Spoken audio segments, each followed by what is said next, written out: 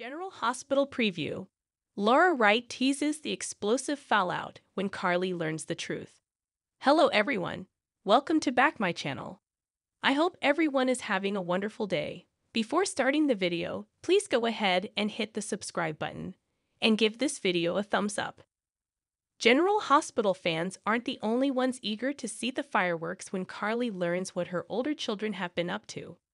After one of Laura Wright's Twitter followers suggested that if Sonny's ex knew what Michael had been and Josslyn still was plotting, she'd take a broom to their heads, the Emmy winner couldn't resist expressing her excitement.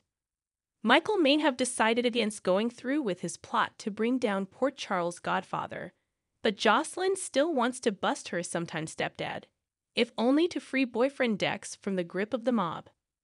While Sonny may be low on Carly's list of favorite people these days, she still doesn't want to see Donna and Avery's pot pressing license plates.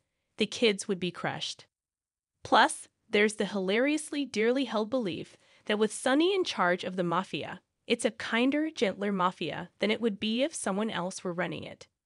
Hmm. Try telling that to Dex as he's dangling from a meat hook.